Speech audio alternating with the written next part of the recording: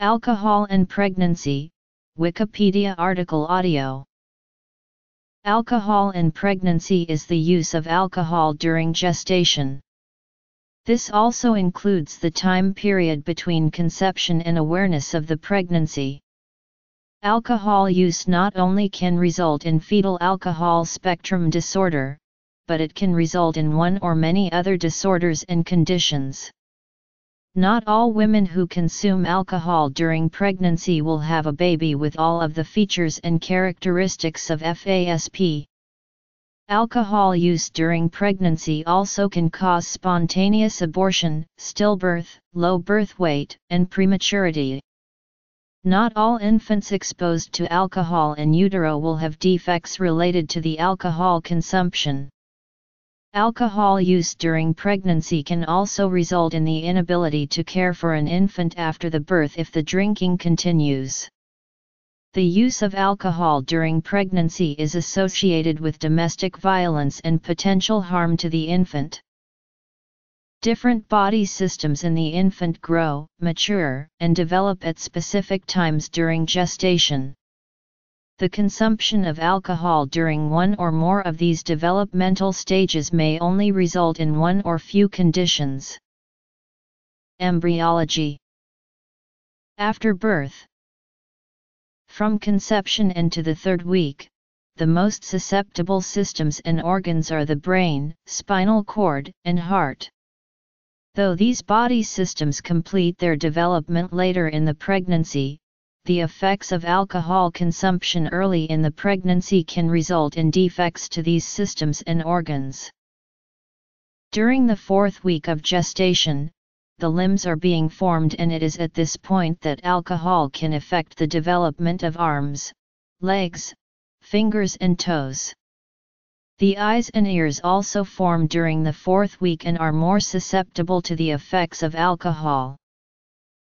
By the sixth week of gestation, the teeth and palate are forming and alcohol consumption at this time will affect these structures. By the 20th week of gestation the formation of organs and organ systems is well developed. The infant is still susceptible to the damaging effects of alcohol. The baby's brain, body, and organs are developing throughout pregnancy and can be affected by exposure to alcohol at any time. Because every pregnancy is different, drinking alcohol may hurt one baby more than another. A child that has been affected by alcohol before birth may be appear normal at birth. Intellectual disabilities may not appear until the child begins school. Treatment when an infant is born and appears to be healthy, the baby may still have non-visible disorders and organ defects due to exposure to alcohol during the pregnancy. Social problems in the child have been found to be associated with alcohol use during gestation. Alcohol is a cause of microcephaly. Alcohol use during pregnancy does not affect the ability to breastfeed the infant.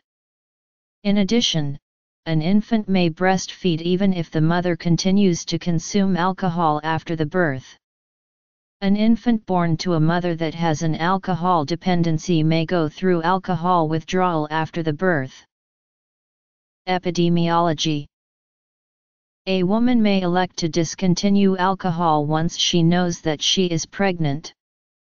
A woman can have serious symptoms that accompany alcohol withdrawal during pregnancy. These symptoms can be treated during pregnancy with benzodiazepine. 1 out of 67 women who drink alcohol during pregnancy will have a child with a birth defect. The five countries with the highest prevalence of alcohol use during pregnancy were Ireland, Belarus, Denmark, the UK, and the Russian Federation. The lowest prevalence is in those nations whose religious beliefs govern their alcohol consumption. Birth defects caused by alcohol consumption may be up to 1% in many places. This may mean that FASD may be higher than anencephaly, down syndrome, spina bifida and trisomy 18. Globally, 1 in 10 women drink alcohol during pregnancy. Out of this population, 20% binge drink and have 4 or more alcoholic drinks per single occasion. Binge drinking is the direct cause of FAS or FASD. These findings are alarming because half of the pregnancies in developed countries and over 80% in developing countries are unplanned. That means that many women don't realize they are pregnant during the early stages and that they continue drinking when pregnant. Public Policy Starting in 1981, the Surgeon General of the United States started releasing a warning asking pregnant women to abstain from alcohol for the remainder of gestation.